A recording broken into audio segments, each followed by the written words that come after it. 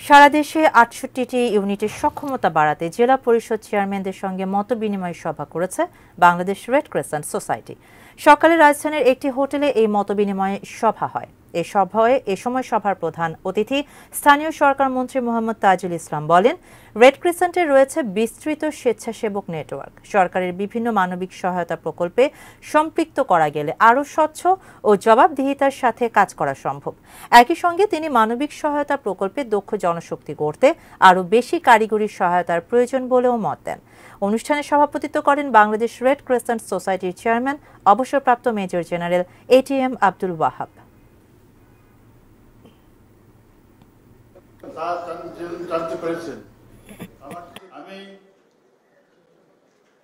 জাহাঙ্গীর মধ্যে যদি ওনারা আপনাদের যে সমস্ত প্রোগ্রামগুলো আছে তা কন্ট্রিবিউট করতে পারেন।